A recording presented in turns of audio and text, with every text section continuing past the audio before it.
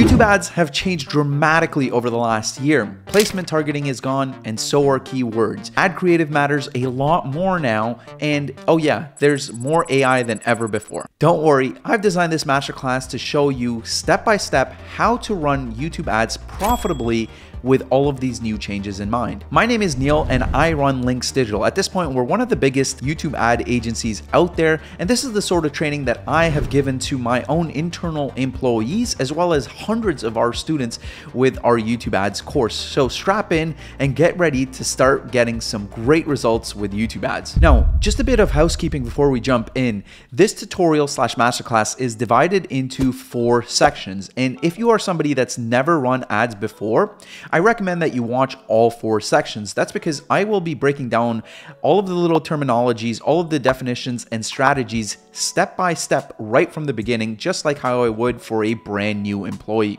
However, if you are somebody that has run ads before and you're just looking for the 2023 updated syllabus, well then I recommend that you skip ahead to this point right here in the video, but be sure to watch the creative and scaling sections because they do have a lot of new updates. And with that being said, let's jump into my computer and start with YouTube ads right in the beginning. All right, before we jump into the ads manager, we need to understand what YouTube ads are and how they work. And the first thing we'll be discussing is the ad account structure. More importantly, how YouTube ads are laid out. Now, even before you run any sort of YouTube ads, you are going to need a Google account. Now, if you are somebody that's planning to use your own audience on say YouTube, or you are somebody with an established business and you've run things like PPC ads before, maybe you use some of Google's other assets like Google Optimize. Maybe you have tag managers set up already. You have Google Analytics or Search Console set up, and you want to use this YouTube ads for that business. What I recommend is that you use that Google account for your YouTube ads. Now, once you have your Google account set up, uh, what you're going to need to do is set up a brand new AdWords account. And don't worry, I will be showing you step by step how to do this later on in the video. Right now, I just want to showcase how these things are laid out. So inside your ad account, um, your AdWords account is where all of the fun happens. And what I recommend is that if you are somebody that's running multiple businesses, maybe you have several different brands under a business, I recommend setting up a brand new AdWords account for each different brand in your business. And the reason for this is say one brand is targeting people that are super old in one part of the world and the other brand is for younger people in the opposite side of the world. You don't want the ad data getting mixed up in that AdWords account. The second thing is if one of your brands is kind of on the edge with Google policy, uh, you want to make sure that you're saving yourself against uh, some sort of uh, ad account ban.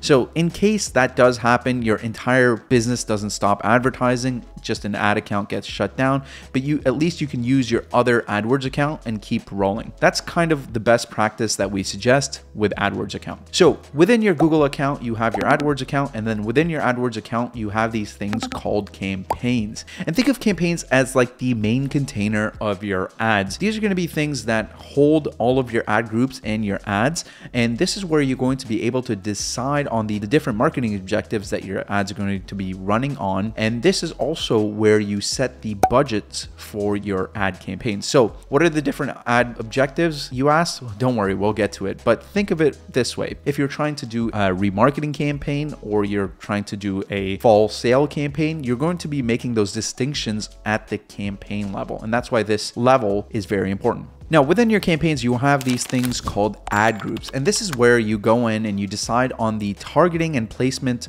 of your ads. This is basically where you get to figure out who is going to see your ad. You can also set things like bids, um, and even sometimes budgets for your ads, as well as the scheduling for when your ads are actually going to be shown. So this is where the meat and potatoes of your actual ads happen. And then within your ad groups, you have your actual ad slash creative level. And this is where you pick which video is actually going to run as an ad. And then you can also do things like change the text of the ad, figure out what the call to action button is. So just to recap, you have your Google account, which holds your AdWords account, um, and you can have multiple AdWords accounts for different brands. Within each AdWords account, you have different campaigns, and these hold all the different marketing objectives.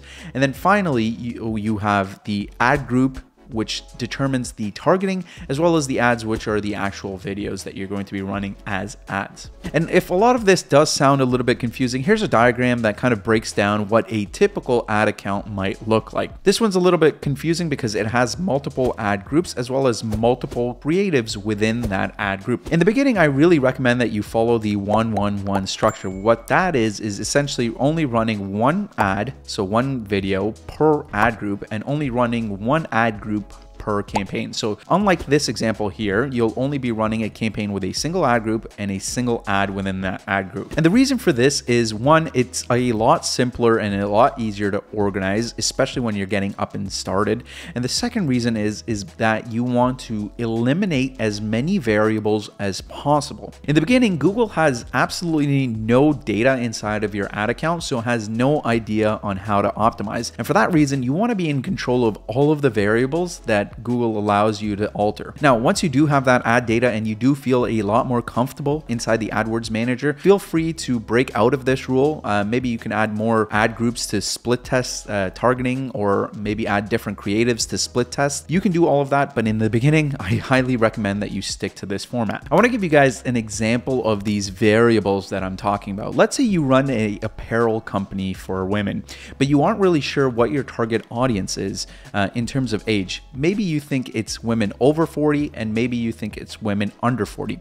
So what you're going to do is set up two different campaigns and within each campaign, you're going to have a single ad group and the variables that you're going to be testing, which is age in our case, whether women are over 40 or under 40 uh, that respond better to our apparel line, you're going to be testing this on the campaign level. So one campaign, one ad group, and within that ad group, you will say, okay, I'm only targeting women under 40. And then in the other ad group, in the other campaign, you're going to be setting the targeting as women over 40. And within these campaigns and ad groups, you're only going to be testing a singular video ad. So at the end of the day, what you're left with is two campaigns where there's only one variable that's different between the two.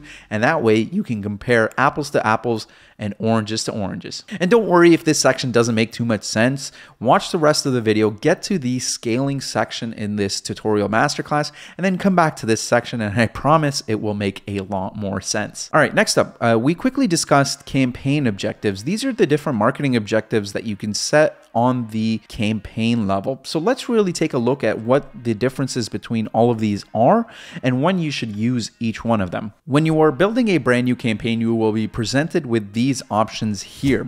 And one thing to note is that the targeting between all of these different campaign objectives remains the same regardless of which option you choose. The only things that change is how that campaign is going to be optimized and what it's going to be optimizing for, and how you're going to be charged and what sort of ad creatives you can run. So each of these sections actually limits you in the ways you are able to run YouTube ads and how you're also charged. Let's quickly go over what a few of these campaign objectives are. So we'll quickly start off with website traffic. So this is a campaign objective where Google tries to optimize for as much web traffic as possible. Now, Google doesn't care if the people visiting your website are actually going to turn into customers. It's just trying to send as many people to your website as possible. And the same goes for product and brand consideration and brand reach and awareness campaigns. So in these scenarios, Google is just trying to get your ad in front of as many eyeballs as possible. It doesn't care if these people will actually turn into customers. The app promotion objective is for those of you that have a mobile app and are optimizing for downloads, and store visits and promotions are for those of you that have a brick and mortar store and are trying to get more foot traffic. And then finally, we have the create a campaign without a goals guidance uh, campaign objective, which is essentially what it sounds like. Google does not do any sort of optimization here, and the only real time we actually suggest that you use it is if you are going after one of the very specific bidding options. However, for most beginners and most people watching this video here, what I recommend is that you use the sales or leads campaign objective. If you are somebody with a e-commerce store or uh, a digital product or someone with a website where there is a purchase now button and you're trying to get more sales, then I would use the sales objective. If you are somebody that is collecting leads, whether that's in the form of phone numbers or emails, I would really recommend that you stick to the leads campaign objective. All right, with campaign objectives figured out, let's jump into the different ad formats that are available with YouTube ads. Now, a lot of you might be surprised to find out that there's a lot of different YouTube ads specifically. When most people think of YouTube ads, they think of the skippable video ads that play before a YouTube video. However, there's a lot more inventory with YouTube ads that's at your disposal. There's a lot of options out there, so let's break them down and figure out which one is best suitable for you. We'll start off with overlay ads. These are the banner ads that appear on top of native organic YouTube videos. You probably have seen them before. Next up, you have your bumper ads, and these are the ads that are less than six seconds long and that play at the beginning of YouTube videos. Then we have the infamous non-skippable video ads. These are the 15, sometimes even 20 second ads that you can't skip and they play in the middle of a organic YouTube video. Next up, we have the in-feed ads, and this is formally known as the discovery ads. These are static ads, so they don't interrupt the video, that appear on either the search result, so they'll be the top search result when you go on YouTube, or on the home page, or on the suggested bar on your right-hand column. You probably have also seen these as well. And then finally, we get to the ad type that most people associate with YouTube ads, which is the skippable video ads. Now, these are the ads that play in the middle of videos, sometimes even at the beginning of videos, that run for five seconds without the skip button. And then after five seconds, the skip button pops up and then people can skip them. So these are the bread and butter of YouTube ads. And this is what I assume that most of you are here to learn about. And what I really recommend is that you actually run with these sort of ads and master them first before moving on to the other types of ads. These are usually the most profitable ads that you can run on YouTube. Now, a quick note, YouTube also has these thing called YouTube short ads. Now you may have seen them. They're the ads that pop up in between YouTube shorts when you're scrolling up on your mobile phone. We won't be covering these ads in this tutorial here because they're pretty new. But if you wanted to learn a lot more about YouTube short ads, watch this video right here. Let's figure out how you guys are going to be charged when you're running your ads. So if you've run ads before, you must be familiar with what bidding options are. For those of you not familiar, essentially Google AdWords is a auction-based platform. You basically put down a bid of what you're willing to pay for your ad to get seen by people. And the way it works is with four main bidding options, which we will cover. All right, let's quickly go over what some of the different bidding options are on YouTube ads. So first off, we have target CPM, which is essentially a bid that you set that you want to pay for a thousand impressions. Um, there's no optimization with this bidding method, and for that reason, we absolutely recommend against using this. The next up is target CPV. It's kind of similar to target CPM, but instead of paying a bid for a thousand impressions, you set a price for a view that you want. Now, the ads are optimized for views here as opposed to just general impressions. And this is important to note here because YouTube sees views as somebody watching at least 20 to 30 seconds of your ad or clicking on it. So because YouTube is charging you on views and not impressions, they actually optimize your ads for views. However, we still don't really recommend this bidding option because you're not really there to get a bunch of views on your ads. You're there to make sales and get customers. And the next bidding option is a more common one that we use, which is maximize conversions. It does work by charging you on impressions. However, unlike target CPM, with this bidding option, basically Google goes out there and tries to get as many conversions as possible with your entire budget. That's the name, maximize conversion. And for those of you asking what conversions are, these are essentially actions that a user makes on your website. And you can essentially set conversions to be whatever you want. So a conversion could be somebody clicking a button on your website, somebody adding something to your cart, maybe giving a phone number, essentially anything you want. So what we recommend is that you start off with maximize conversions as a bidding option first, especially in an ad account with absolutely zero data because you want to try and get as many conversions as possible. Whether you're using YouTube ads to get more phone numbers, more emails, whatever your conversion is, you want to get as many po as possible when you're first starting out. When you do have a lot of data coming in, then you can start leveraging some of YouTube ads optimization algorithms. A real life example of using maximized conversions would be let's say you have a hundred dollars and you're trying to get as many emails for your new newsletter as possible. So you would set your maximized conversion bid to be $100 and Google will try and go out there based on your targeting parameters and try and get as many new emails as possible with that $100. And finally, let's move on to the final bidding option that we're going to be discussing, which is the target CPA option. Now, this is the most powerful bidding option in my opinion and the one we use the most at our agency. Now, target CPA stands for target cost per action. This is essentially a bid that you set that you are willing to pay for a specific action. And then Google will try and go out there and get that action for the bid you bid price that you set. So let's say you are a business that's trying to get sales and you say, "Hey, I'm willing to pay $30 in ads for every sale that I get." And then so you set your target CPA bid to $30 and then Google will go out there and try and get you a sale for $30. Now here's the catch. If Google knows that uh, it can't go out there and get you a sale for under $30, maybe it can only get you a sale for let's say 50 bucks, the campaign won't actually spend. Google won't spend your money willy-nilly. So what we recommend is that you use maximize conversions as your bidding option when you're first starting out. Maybe when you get a 100 to 200 conversions, then you can switch over your campaigns to target CPA when you also see the data coming in.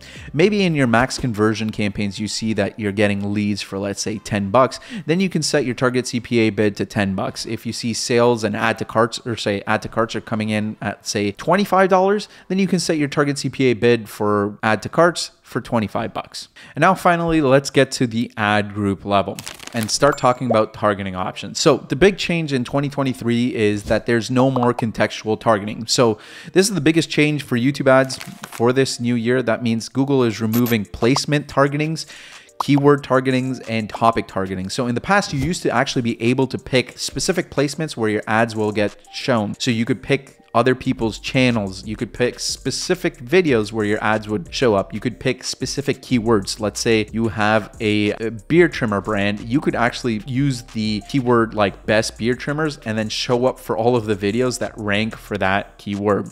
So you used to be able to do that, you can't anymore. But why exactly is Google getting rid of such a powerful targeting option? Well, Google thinks that its AI and its powerful algorithms can actually go out there and find customers for a cheaper price than you can with these placement and keyword campaigns. And for a lot of people, I think that's true. I think Google knows your customers and its own customer data a lot better than a individual marketer. So what we're seeing now is that initial data in a brand brand new ad account is a little bit more harder and a little bit pricier to gather.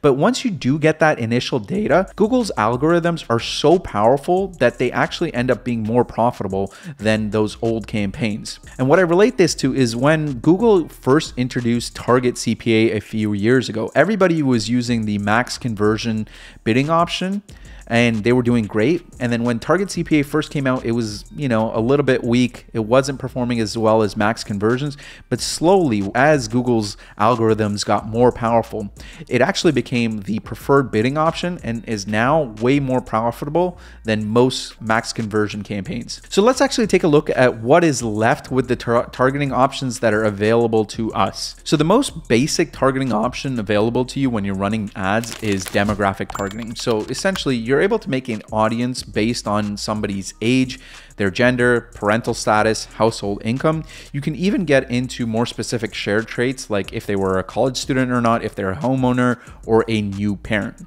You're also able to uh, target via geography and languages spoken within the demographic targeting. This is like layer one when we come talk about your targeting options. The second type of targeting option that is available to you is your own data segments. So these are audiences that are based on their past interactions with your your business, whether that's through your own videos on YouTube, your previous video ads, maybe you've had run ads before, and you can target people with this data segment. You can also show your ads to audiences that have actually interacted with your website. So think remarketing. And then we have the customer match targeting option. And these would be audiences that are built on your first party online and offline data. So think email lists that you've gathered, uh, phone number lists, Google Ads data if you've run PPC ads in the past. If you want to upload that data, you can target those people with their emails or phone numbers. And then we also have similar segments. So if you've run Facebook ads before, this would be like the lookalike audiences. So this targeting option essentially helps you by expanding the reach of your best performing audiences by targeting new users with similar characteristics, right, to your either your data segments or your customer match lists. So in order to show you the rest of the targeting options, I, I thought it would be best to actually show you a live demonstration. Um, that way you can also see where these targeting options are located. And again, don't worry, I will show you how to set up this AdWords dashboard that you see here just a little bit further along in the video. But for now, please follow along. So you're going to click tools and settings and there's a couple ways to do this. The first is through the audience manager. Here you will be able to create new audiences based on your different targeting options, right? The other way to do this is through your campaigns itself. So we're gonna come in here, create a brand new campaign, and don't worry, I'll go through all of this a little bit later on, and um, you will understand what all of these uh, different options are going to be. So we're gonna scroll down to where we can see the audience. And the way we're going to do this is in the people area. So this is exactly where we get to pick who our ideal audience for our ads are going to be. Um, so what you can do is click create an audience and this is going to give us all of the different targeting options available to us. So like I mentioned, you get all of your little demographic options um, like I mentioned. So you get to choose between age, uh, gender, parental status, household income. And then you can also do location-based targeting, the locations area, as well as languages. But let's talk about what some of the more advanced options are. All right, the first thing that I want to cover is the interest-based targeting options. So these are going to be your main audiences that you're going to first start off with.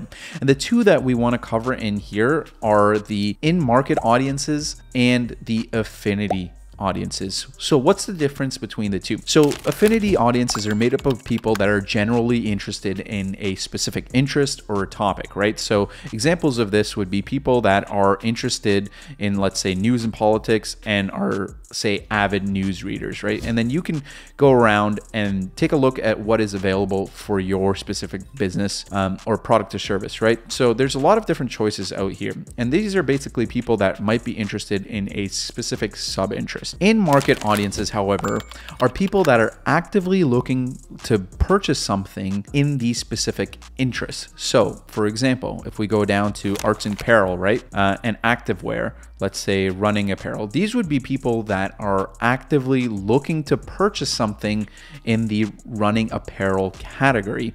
And these type of audiences are very, very powerful. Now, what I recommend is for people starting out is going after people with in market audiences. And again, I will talk a lot more about what sort of audiences to pick in the scaling and launching section of this masterclass at the end of the video. Okay, the next big targeting option available to you is going to be custom segments. And these are going to be essentially audiences that are built by Google based on a few different parameters. So you can do one of the parameters, which is audiences based off of people that have searched certain things inside of Google. So on like the actual Google search. And basically you're going to put in keywords uh, like it's showing right here. And Google will go out there and build an audience of people that actually search for those terms. So let's stick with our running theme here um, and we will make a keyword. So let's do running and see what Google puts out. So yeah, best running shoes for long runs. So Google has gone out there and found a audience of people that would be searching for this.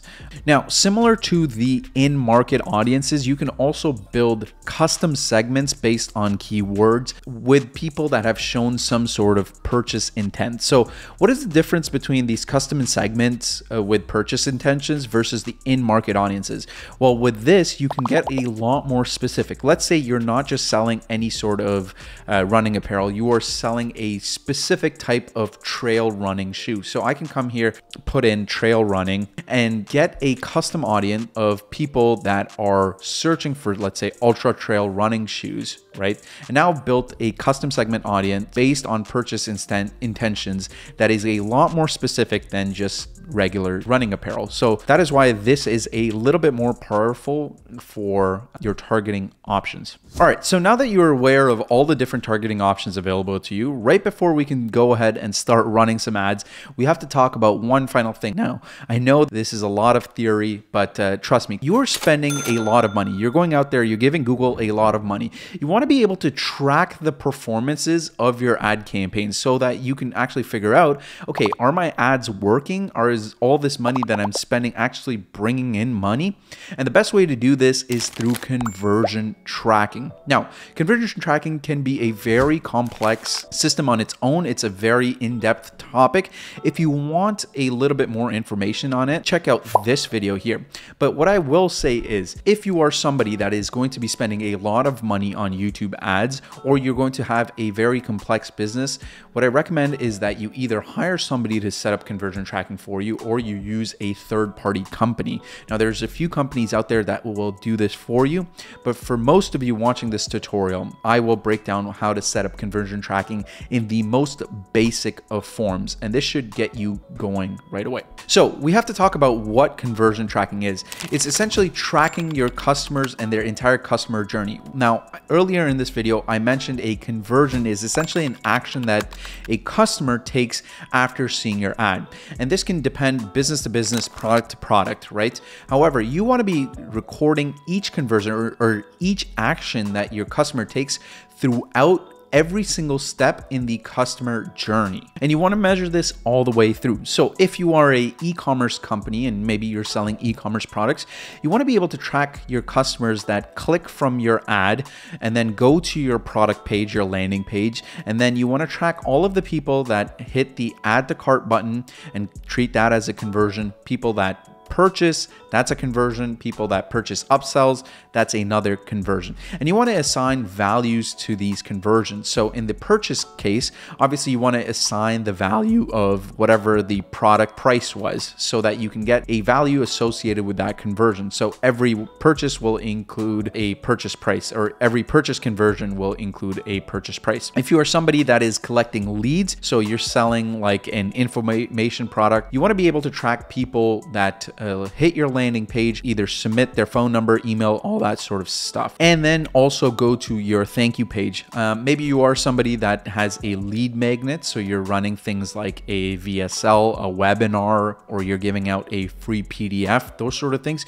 You want to be able to track and put conversions on every single page on your customer journey, on your funnel, as we like to call it. So your call booking page, your call confirm page, your purchase page, if that's applicable. So let's jump back into AdWords and I will show you how to set up conversions. So before we even run any ads, we're back in our dummy account. And don't worry, I, I will show you how to set this up. We're going to be setting up conversion trackings for a uh, opt-in funnel. So let's say somebody comes to our website or they see our ad, they come to our website. We promise them, say, a free PDF. They submit their email they get the PDF, right? Pretty simple. So this is what our landing page is going to look like. They can get, you know, this um, once they put in their email. And then once somebody hits the claim now button, they get taken to this peak thanks.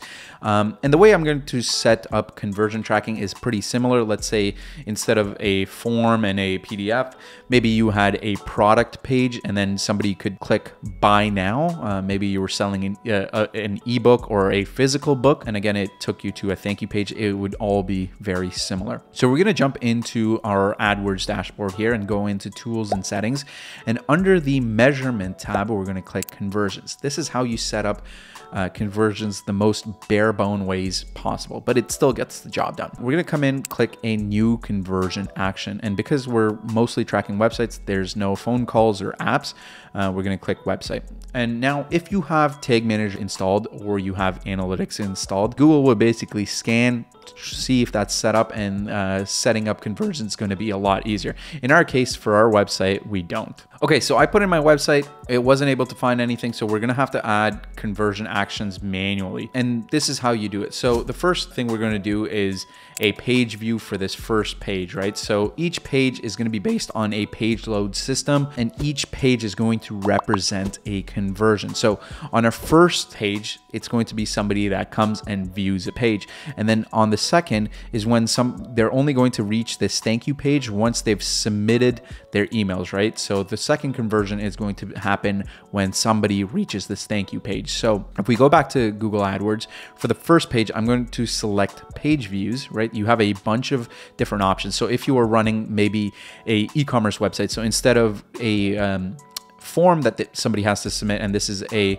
claim now button. This would be a buy now button. Let's say you were selling a $5 ebook or a $5 physical book then you would make this a um, purchase conversion right? So or if it was add to cart as opposed to purchase now then you would click add to cart or subscribe if it was a newsletter right? For us right now we're just doing page view because this is what the the customer does. We're going to make the name test page view and then the value uh, we won't use a value for this conversion action right now because it's it's it's a free ebook. And then okay, now count is super important depending on what sort of product or service you're selling. Uh, for us, we only want to be counting one conversion for every single people a person that submits. Uh, we don't want to be having repeat uh, conversions because it doesn't matter for us. But if you are running, let's say, an e-commerce store, you want to count every single sale that you're getting, every single purchase by the same person, right? Um, so this is going to be great great. Um, so I'm gonna click my view through. You can leave this at 30 days. Engage view, view through. Yeah, one day, this is perfect. And I'm just gonna leave all of these settings default. Now, the second conversion that I'm going to add is for the second page when people reach the thank you page. And instead of a page view this time, I'm going to say this was someone that submitted a lead form, right? Obviously, they came to this page because they submitted that form. So I'm going to classify this as submit lead form. Let's say test. And then you can play around with this if this is the only conversion uh, that you're optimizing for. Really depends on what sort of business you're running. But for now, I'll just uh, leave this unchecked for us. And then for value, again, I'm going to go with don't use a value. But again, if I was selling this, say, for $5, then I would come here, um, use the same value for each conversion and it would make it say $5 if this this ebook that I was giving away this PDF was worth anything and then uh, click once again and everything is done. And then we're gonna click save and continue. Now, there's a few different ways that you can actually install conversion tracking. You can obviously email this to your webmaster or do it using Google Tag Manager. These are a little bit more advanced, but for us right now, we're gonna go through the Google Tag. Essentially, the Google Tag is a all-in-one piece of code that you need to install throughout your website wherever conversions happen and then you will need to install the event snippet code um, for whatever specific page that that uh, conversion happens on. So for us, we don't have a uh, Google tag, uh, a global tag uh, installed. So I'm going to install a global tag and essentially you can install this manually and take this piece of code. And this essentially needs to go on the entire website right? So i'm going to go back to my page builder go into my javascript. So every single page that uh, we're going to be recording conversions in i need this piece of code. So i'm going to go to both pages here go into my javascript put in a new javascript and then put in this global tag. Then i'm going to go back into i'm going to click done uh, then I'm going to go into my individual events and then copy this event, uh, this conversion for wherever it happens on our customer journey, right? So the page view happens on this first page and then I will put this code on the first page. The submit lead form happens on the second page. So I will come here, paste it on the second page and then we are done here and we are done here. Um, I can hit save, republish this page, save, republish this page. And click done. And that's essentially it. That's how you set up conversion tracking. Um, again, this is unverified for now because uh, we just did it. Again, if you are having trouble with this, reach out to us on either our Facebook group or watch the other tutorials. Let's get to the fun part. And this is where we're going to be launching our very first campaign. And in order to do that, you're going to have to sign up for your Google AdWords account. And the best way to do that is to go to ads.google.com. You're going to be taken to this page right here. And what you can do is just click start now. Um, since I already have a Google AdWords account, I'm going to skip this part, but essentially it's pretty self-explanatory. You click start now, you put in your information. We're just going to jump into my Google AdWords dashboard. So once you have submitted all your information, you're to be taken to a page that looks exactly like this. And the first thing you're going to do is go into tools and settings, go into settings um, under billing, and then make sure that you've uploaded a uh, payment card, uh, whatever your payment method is, right? And this is where you'll be able to see all of the different uh, information regarding your Google Ads account. So once you've set up your payments, you can go back into your main dashboard. And then this is now where we can start creating our very first campaign. So let's go ahead and just click brand new campaign like we just did. And this is after the fact that we've actually set up conversion tracking.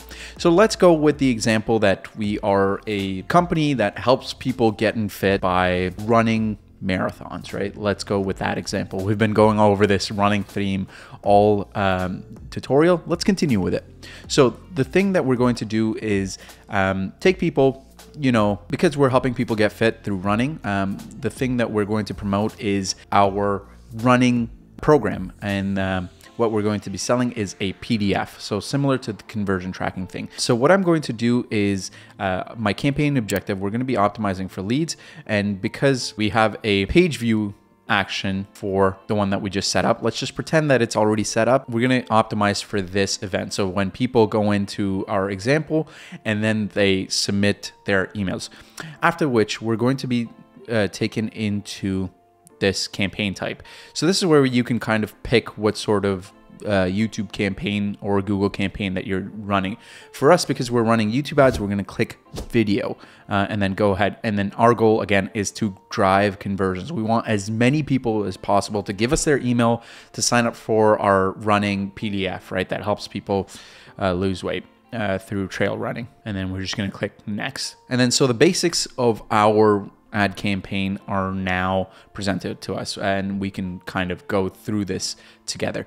Uh, so the first thing we're going to do is name our campaign. So the first thing I'm going to do is click LD, that's for Linx Digital, and I'll kind of walk you through our nomenclature for setting up these campaign names.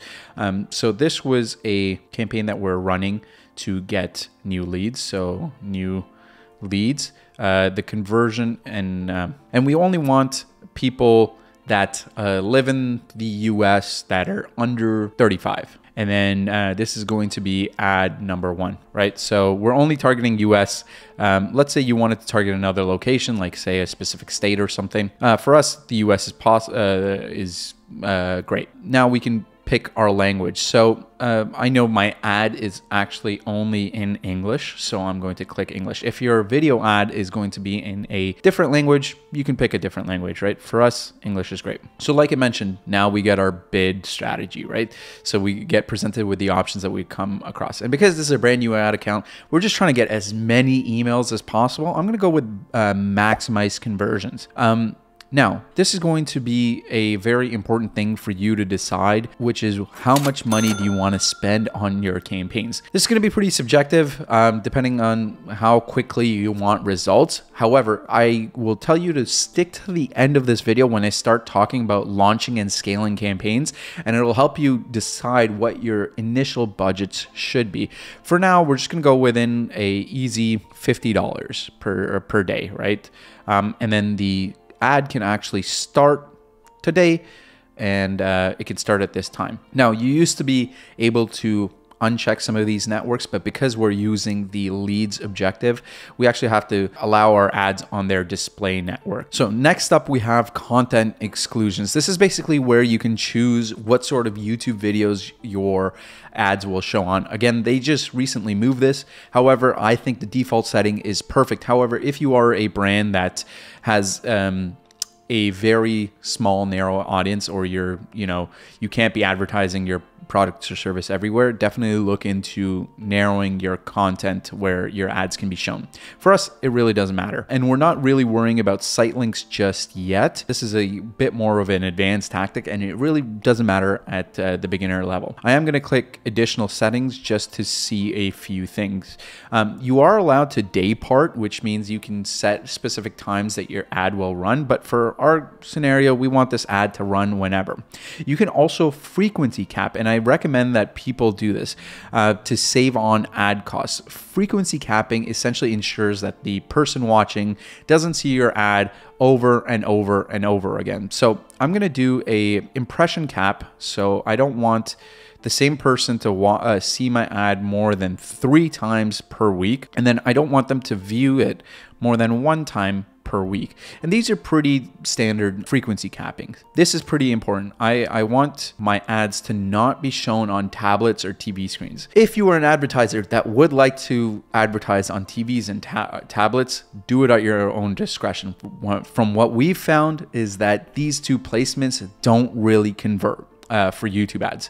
We're going to stick with just mobile and computers. Again, if you want to do this for your own brand, go ahead, try it out. But what I recommend is just stick to computers and mobile tablets. If you are somebody that's also running a let's say something for desktops maybe your products are for desktops or you're uh, running something that's just for mobiles right pick appropriately depending on your situation for us we can advertise everywhere now we're down to the ad group level and i will now uh, define my audience so we'll do in market okay keyword being a keyword of, let's say, uh, running, runners. Okay. And this is, again, uh, how we discussed in the targeting section that we're coming up with our actual audience. So this time around, I am going to do a in-market audience. Let's go into browse, in-market. These are people that are looking for, they want to get fit, right? So Let's see if they have anything around fitness. Uh, let's see sports and fitness. Oh, I don't want that big, big audience. Fitness. Oh yeah, fitness products and services. Let's see. We not necessarily exercise equipment and uh, let's go with fitness. Online fitness classes. Yeah, this would be people that would be interested in uh, learning to lose weight with trail running and our uh, PDF that we're promoting. This would actually be a great audience, right? And then we could do demographics. So we said this could be uh, either male or female, but they have to be under, let's say, 35, right? Let's go to additional demographics. And then, yeah, this can this can be top 10% to let's say top 10%. So we only want uh, people who can afford our very expensive coaching program. Um, and then we're only going to go after that audience. And that's pretty much it. Um, so for our first round of audiences, let's see, um, let's do uh, in market Okay, boom. I'm to save this audience right here. And one of the most important things that I can tell you is you want to isolate for optimized targeting. Now, this is a new feature. Again, Google's rolling out. I don't know how it's going to work on your specific ad account. If you are somebody that wants to test out optimized targeting, you can. Uh, but like I said, create a separate campaign. So if I was somebody who was interested in, say, optimized targeting, I would create a separate campaign and then keep everything the exact same and then just click this, right? However, for me, I don't want to use optimized targeting at this moment, so I'm going to check this off. And I'm going to go into advanced settings, and now we're at the ad section level. Okay, now that we're at the ad channel level, we can actually run and create our video that's going to be seen by people.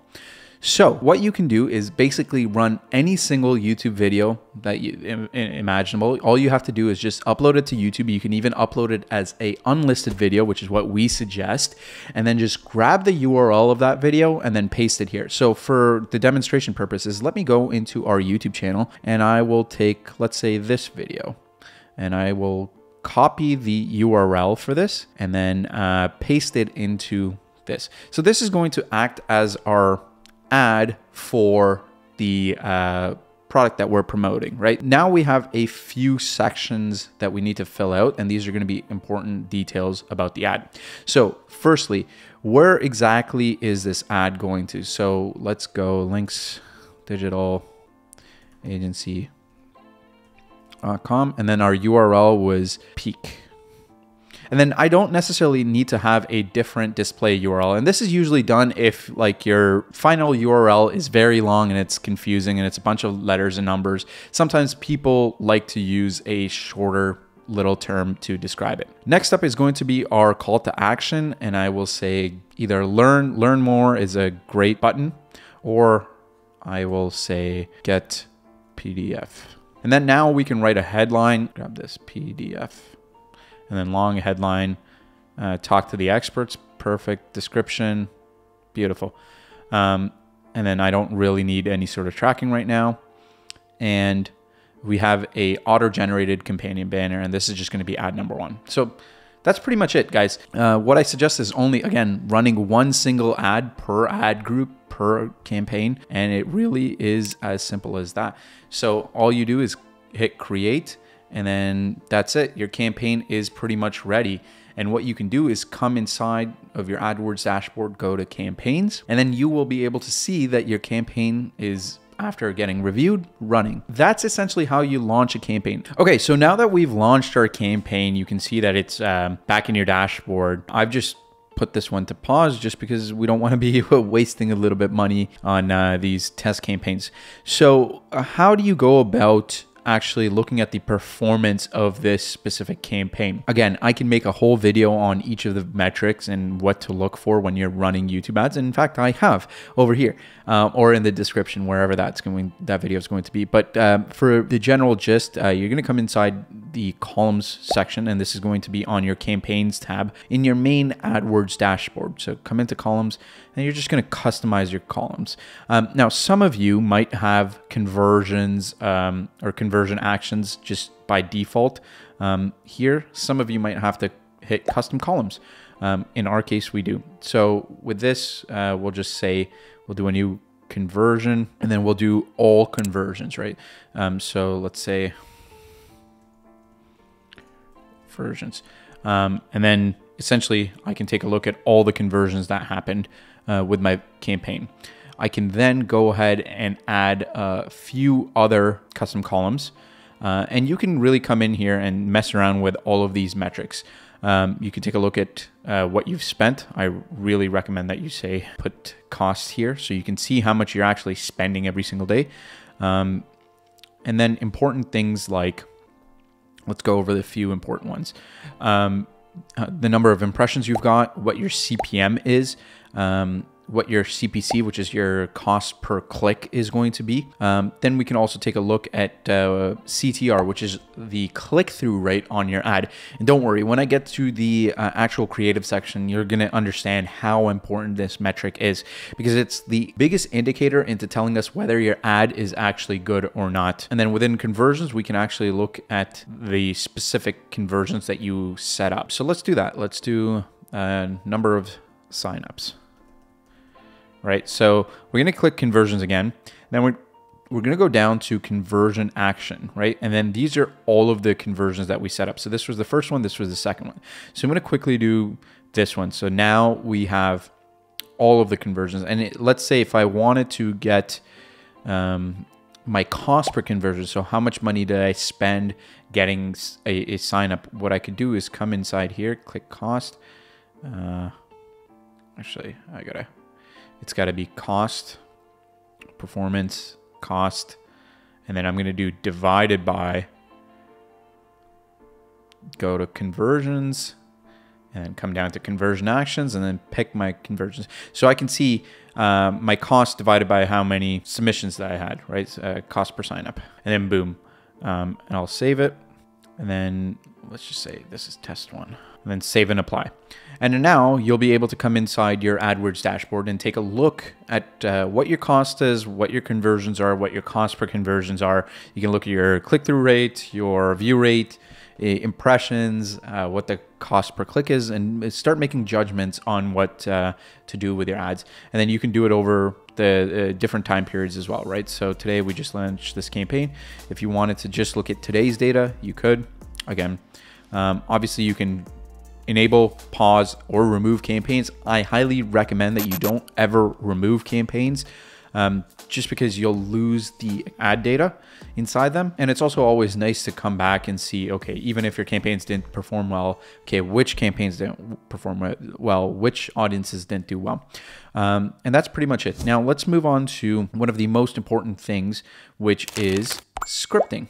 All right, let's talk about one of the other big changes that's really happened over the last little bit with YouTube ads, which is that your ad account performance is really dictated on your ad performance.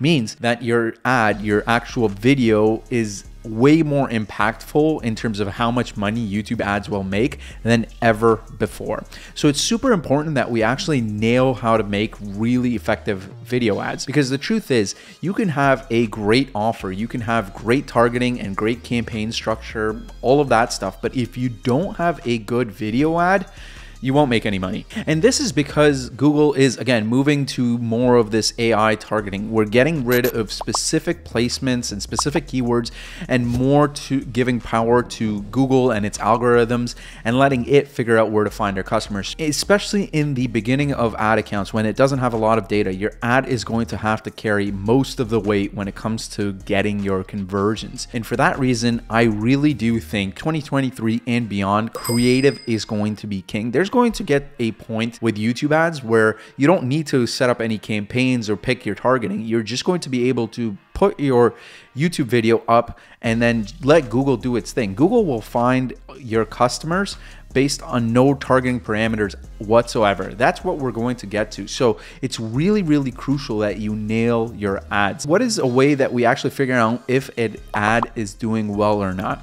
So the most obvious answer is if your ad is actually producing a positive ROI or return on investment. Let's say your ads are bringing in $2 for every dollar of ad spend, right? It doesn't matter how crappy the ad is, that is a fantastic ad. As long as it's producing a positive ROI, it is a good ad. Doesn't mean it can't be improved or anything, but I'm just saying at the bare minimum, if it's not broken, keep running with it. However, if you are at the point, say, let's say, even if you are getting an ROI of 200%, you still want to go for more. What are some ways that we can actually tell that ads are doing well or not? The biggest metric that we look at uh, at Linx Digital, and I teach this to all of my students and my employees, is look at your CTR. This is going to be your click through rate. This is going to be the percentage of people that actually, when they see your ad, click on it. And why is this metric super important? Well, this is because on the uh, ad inventory side, when people are actually seeing ads, it's consistent throughout the platform, right? Your in-stream ad is going to look like everybody's in-stream ad. I mean, in terms of placement, in terms of how many pixels it's going to take up on a screen. So it's a very good comparison to be able to compare two ads beside each other, even if the offers and stuff are different. So what makes a good click-through rate? Well, at bare minimum, what we recommend is that your click-through rate is at least 1.5%. So even if you're getting a 10x ROAS, uh, right, a, a, return on ad spend or an ROI, even if you know your back-end metrics are fantastic, but your click-through rate is not over 1.5%, you can probably improve that ad. I would say a bare minimum decent ad is anywhere from 1.5% to 2%. Um, that's on the lower end. We like to see that number a little bit higher. Good ads, the ones that consistently perform good, they bring in a good ROI. They're usually from 2 to 3%. Um, and then every now and then with ad accounts, you'll start seeing some really good ads. And these are ads that are getting anywhere from 3 to 5%. And with the right amount of targeting uh, constriction and the right audiences, you can even get ads that convert with a click through rate of 5 to 7 8%. And those are what we call our superstar ads. Those are the ones that you keep seeing on YouTube over and over.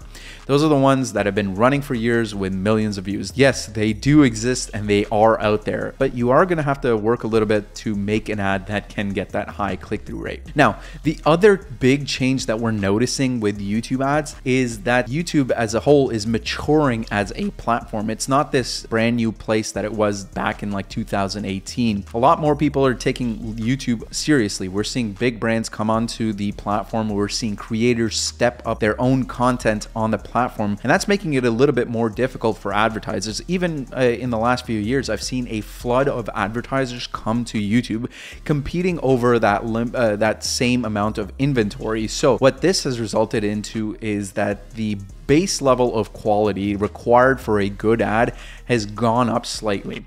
Now, gone are the days where you could just take like a really crappy iPhone video with distorted audio, run it, and still see profitable ads. I'm sorry that those ads are now few and far in between.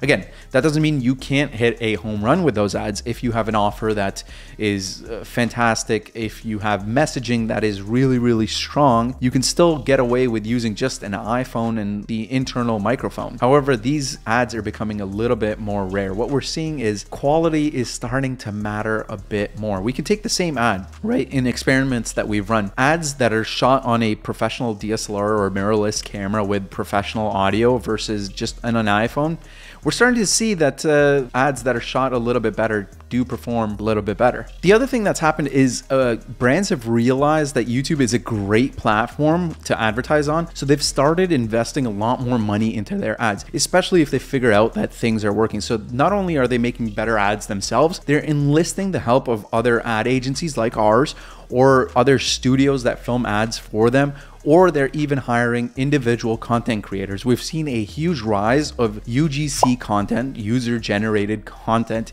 even on YouTube. Now, this is like super true for TikTok, for Facebook, but uh, now we're seeing this even come through on YouTube. So if you are a person who's somewhat struggling with coming up with ads, my advice would be don't beat yourself up over it. You can easily go and find a spokesperson, a voiceover actor, a UGC content creator for as little as like five, ten dollars on platforms like Fiverr who will make ads for you that are high quality. However, I deeply believe that you can still come up with really effective YouTube ads all by yourself as long as you're following this formula. And let's dive into what makes a great ad from a scripting perspective. So in the past, we used to say you need a very strong hook to start off your videos.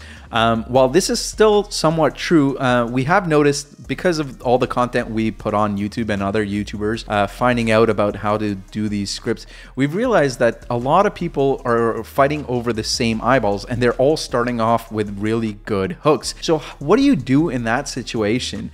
Well, you have to get the viewer's attention. So, you got to start off the ad with a attention grabber. Like, think about yourself when you're watching YouTube. Uh, you probably see four to six ads in a regular 10 minute video, and all of these ads kind of blend in and they're all the same. So, in order to stand out from the crowd, we really suggest that you start off with some sort of attention grabber. Now, these can be things like a big uh, motion spur, waving, graphics that come in, even sound effects. These are big, big components of standing out within the first second or so in your ad. Maybe you yourself have even seen this on YouTube where you've seen creators begin their ads by starting and saying something like, hey, stop, whoa, listen up, uh, or like uh, bringing in sounds like bangs, sound effects, whooshes, uh, things of that nature. And what this is designed to do is essentially break the pattern and interrupt uh, whatever little video that the person was watching and make sure that the viewer actually pays attention to the ad. And after you've done this little attention grabber, the premise still remains the same. You still want to come in with a strong hook. This is not only going to ensure that you can make it past the first second, but that the person actually watches the entirety of your ad and gets the whole gist and messaging that you're trying to pitch. So what are some good examples of hooks that we've seen? Well, these can be easily things like calling out your specific audience. If you are selling a product or service to a niche audience, definitely call them out in a hook. And this basically perks up everybody's ears that are in that audience.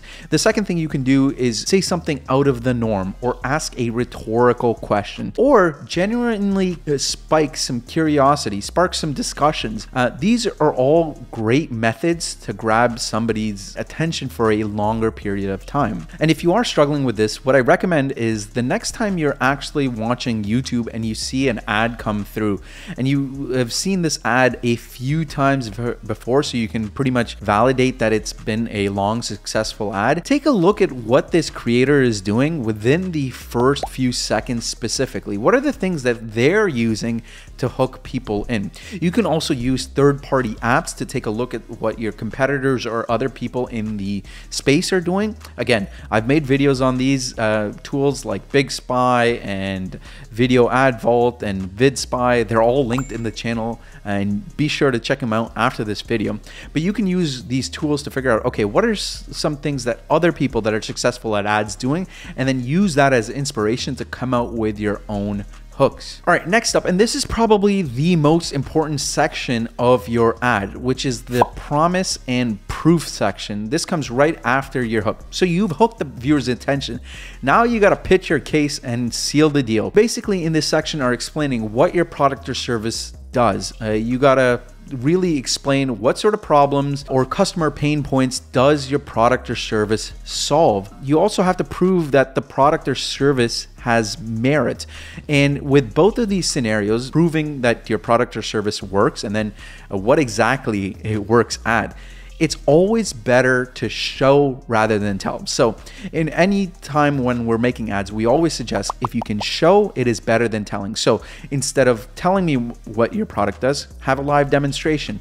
Instead of proving to me by saying, hey, uh, my product does this, give me testimonials, show me success case studies let me know with my own eyes that your product or service works. Customers need to be convinced that your product or service works. And this is probably the biggest thing that holds back most ads. There's not enough conviction in most ads. People don't think that uh, your product or service really delivers on what it promises. You can see this with YouTube, right? Uh, back in the day, you used to have all of these ads that were like, hey, click this ad if you want to make you know a, a million dollars in 30 seconds.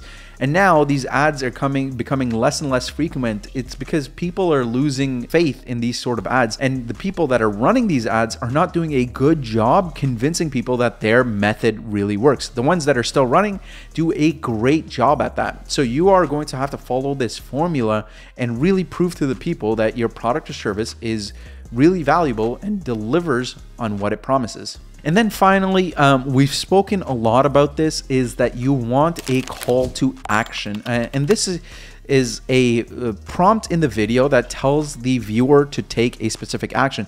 Nine out of 10 times, for those of you that are watching this video, it's your, your action that you want the viewer to take is going to be to click on the ad, right? They want to go on to your website to do whatever the next step is, right? So at the 30 second mark or right before, uh, you definitely want to insert a call to action, which encourages people to click the link in the ad below. And then you can even have things like pointers, countdown timers. I've even seen uh, crazy animations and stuff being used to really get people to click on the link. Now, why do I say 30 seconds? Well, that's uh, usually when you get charged for a view, depending on what sort of bidding method you're using. So you really want to get people to click on your ad and convert before. And then you also want to have a call to action at the end of your ad. Now, I say keep your ads generally under two minutes long. So you want to be inserting this last little call to action right before those two minutes. Now, you can go ahead and play around with where else you can insert this call to action, but generally you want to have at least two to three call to actions for every two minute ad. Next, I want to cover the thing that most people get wrong when it comes to making ads for YouTube, which is they make one really pretty ad and they put it up on YouTube, cross their fingers, and they're like, okay, let's let's see how it does. And uh, I will say nine out of ten times that ad fails. People just then go ahead and give up. Unfortunately, the way YouTube ads work is that you are going to have to try out a few different ads before you find one that's a winner. And I can't really tell you how many ads it's going to take because we've had some businesses that we actually work on with an agency where the third ad that we made for them, boom, home run. We don't need to make any more ads. Then there have been ad accounts that uh, we've made like 80 different ad variations and it was the 81st one that finally was a winner and then we figured out okay this is the format that we need to follow and then we were able to repeat that success. However that success took 80 tries. So don't be discouraged if your first ad or your first few ads don't do well. The thing you want to do is methodically test and make sure that you are testing different variations of these ads in a prompt and quick manner. So what exactly really is testing when it comes to YouTube ad creative? So testing is you're making different ads, attacking different pains that your product or service is solving for in different ways. You're highlighting different benefits. You're highlighting like, let's say secondary or tertiary benefits of your product or service. Um, and this is because sometimes you probably don't know your product or service best, unfortunately, or you don't understand how the public perceives it. So I'll give you an example, right? We've been doing this running uh, weight loss thing, right? So for us, if we were making an ad, we would say, "Hey, if you're interested in this uh, in losing weight, check out this running thing."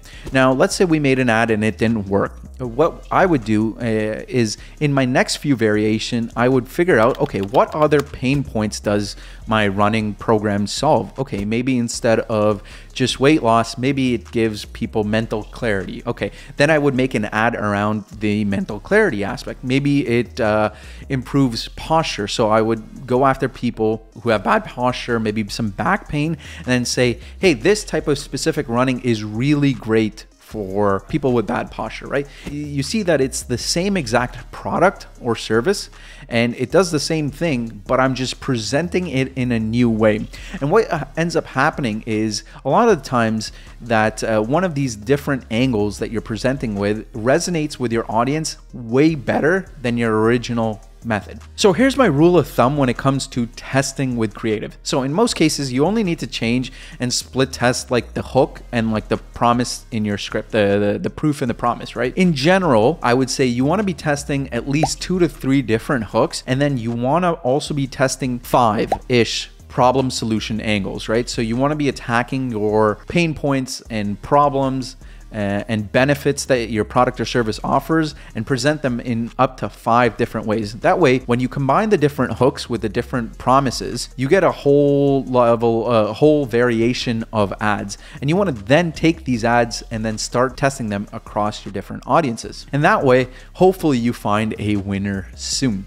Now, I will give you one final bonus tip, and this is what I call my five second rule. Now, this five second rule is absolutely crucial because I think with the new emergence in short form content, people's attention spans are getting shorter and shorter. So you're gonna have to work extra hard to keep that attention throughout your ad. So that's where this five second rule comes in. So what this five second rule states is that for no longer than five seconds in your ad, should there be no sort of attention grabbing tactic or video editing tactic. So this means every five seconds in your ad, your ad needs to do something new to keep people's attention. Whether you're changing your shot angles, you're adding B-roll, you're doing transitions, maybe you add add some sound effects, maybe some image overlays, some graphics. Something needs to happen every five seconds to keep the people's attention. Unfortunately, this is the way the world is going, and unfortunately, this is how YouTube ads are moving. So you are going to have to employ some of these tactics on your ads if you want to see success. All right, so you've picked your targeting, you've launched your first campaign, you've installed conversion tracking, and you've made your first ad. What next? Well, let's talk about what it actually takes to launch a few campaigns, how you should go about it, and then what you should do if you start seeing a little bit of success when it comes to scaling. All right, so in the beginning, what we recommend is that you have three to five campaigns, right? So you're in these campaigns, what you're going to do is mix up your targeting. So you're going to use a combination of a few in-market audiences, a few custom audiences, those custom segments based on keywords, and a few affinities, right? See what uh, your product or service best relates to figure out, okay, maybe I can target these people, maybe I can target these people. Just have a few variations, right? What I recommend is you want to have three to five different uh, little variations in terms of your audiences and your targeting options. Then I recommend at least three to five uh, different ad variations. So these are going to be like the things we just talked about, you know, different hooks, different pain points, and you want to combine this with the three to five different targeting options. And like I said, if you remember, we want to be following the one, one, one structure. So each campaign, you're only isolating for one variable. So in total, you could have anywhere from nine to 25 different variations. So when you're first starting out, it's going to be at least nine to 25 different campaigns. Now you might be asking, I don't know if I have the budget for these things. What's it going to cost me? Okay. So rule of thumb is you want to aim for anywhere between two to six X your initial cost per action, right? So whatever your you're optimizing for, uh, two to six X that cost, right? So let's say you are optimizing for emails like we were, and you're comfortable paying, let's say $5 an email. So my budget per campaign would be 10 to $25, right? So two to 5x or 10 to 30 dollars right? And the reason there's a variance in here is uh, because sometimes products are very expensive right? Let's say you're optimizing for a purchase for a thousand dollar product. Now it's pretty scary going out there and setting the budget to six thousand dollars per campaign. That that could be a lot. But what we also recommend is you know these are guidelines. You can you can go a little bit less. Maybe if you're selling a thousand dollar product maybe lower the number of campaigns that you're running lower the initial budget. But do know you want to be letting your campaigns run and have enough budget in them. Okay, so you've picked your budget. You're like, okay, yeah, I, I'm good with this. How long do I let YouTube ads run? Now, unlike Facebook ads, if some of you guys are um, coming from that world, YouTube ads are notoriously slow to get off the ground. Uh, but when they start working, they go off into space like a rocket ship, right? However, you do need to let these ads breathe. I wouldn't uh, even bother if, let's say, a ad account has not spent at least 4x the target CPA. Let's say, again, I'm going back to my leads example, right? We're collecting emails and my target CPA is five bucks. I wouldn't even look at that campaign until it spent at least $20 and I won't even like really make a decision until let's say $30 spent. Let's say my daily budget was around that $10 right? So I'm not really making a decision on that ad campaign for three days, maybe four days. And that's honestly what it takes with YouTube ads. You don't you can't be looking at immediate things when it comes to YouTube ads. You want to be taking a look at performance three days, seven days, if not longer windows, right? So see the how how the ads have been doing over a few days. Let the ads, let the algorithm learn a little bit, and then start making decisions. So what happens if okay? You've been letting these ads run for a little bit. How do you make a decision? Maybe it's gone to 6x your target CPA, right? It spent that 30 bucks over 3 days. My my rule of thumb is this. If the ROI is greater than 0.8 for a brand new account, I will let it run. So ROI is, you know, money in versus money out. So let's say I know every subscriber on my email is going to pay me $5, right? I want to get that target CPA under five. Let's say I can get uh, that email for $6. I will still let that campaign run, even though it's losing me a little bit of money because the ad account is brand new. And I know when I go from max conversion campaigns to target CPA campaigns, usually that cost will get better as the ad account ages. So my rule of thumb is if it's break even or near break even, I will let the account, uh, the ad campaign run. If it is not, then we're happy. If it's making money, let's say each email gives me $5, I can get uh, those emails for $2.50. That means my ROI or ROAS, ROAS is greater than two. That means I'm essentially printing money. So I'm getting $2 for every dollar that I put in. I'm going to be very, very happy. In that scenario, we can talk about scaling. So I wouldn't even consider uh, scaling until I have at least at least three to five campaigns that are all consistently bringing me in a ROI or ROAS or greater than one. And when that does happen, there's really two ways to go about scaling on YouTube ads. There's the vertical approach and then there's the horizontal approach. So ver the vertical approach essentially means that you are increasing the budgets that you're spending on the audiences. And then the horizontal way is that you are going out there and finding new audiences for your ads. And both approaches are great. It really does depend on your specific business. However, I will say with YouTube ads, some of the easiest ways to scale is through vertical scaling methods, right? So you want to be increasing the budgets on the campaigns that are working. And you are going to find that there's going to be a upper limit. So maybe you take a campaign that uh, you started at, let's say $10 a day, you bring it to $50 to $100 to let's say $1,000 a day. And then you'll start seeing, okay, my, my performance, it's starting to taper off a little bit. And usually this happens, right? Every campaign has its upper limits. And that's why you also need to be doing a little bit of horizontal scaling where you're finding these new audiences so you're not exhausting all of your vertical audiences, right? And this is why I suggest a mix of the two. So what should you prioritize? Should you prioritize uh, vertical scaling or horizontal scaling, or should you have a mix of both? If you are, what percentage uh, of budget allocation should you spend to each? I can't really answer those questions without taking a look inside your ad account. And this is because every single ad account, every single business, every single product or service is unique. However, I will say this if you are somebody that has gotten to the point that uh, you are ready to scale, you're ready to take your ad account to the next level, you have a few profitable campaigns, and well, then that might be a great time for you to take up our team on a free strategy call. Down in the description of this video, you will find a link that allows you to book a call with somebody on our team. We will sit down, we'll figure out what's going on in your ad account, we'll tell you how to scale. Maybe even if you aren't successful with YouTube ads, we can take a look at them, see what's appropriate, and we'll tell you if YouTube ads will work for your business or what are the next steps on it. This strategy call is absolutely free. There's no strings attached. You can book it at any time, and somebody from my team will be more than happy to help you out with your business and YouTube ads. And that is essentially it for our YouTube ads masterclass slash tutorial. I know this was a long one. I trust me, I started recording in the morning. It is evening. I hope you guys got a ton of value out of this. If you enjoyed this, do me a favor, please the video, consider subscribing. We will be coming out with a lot more valuable content just like this one in the near future. And with that, take care, guys.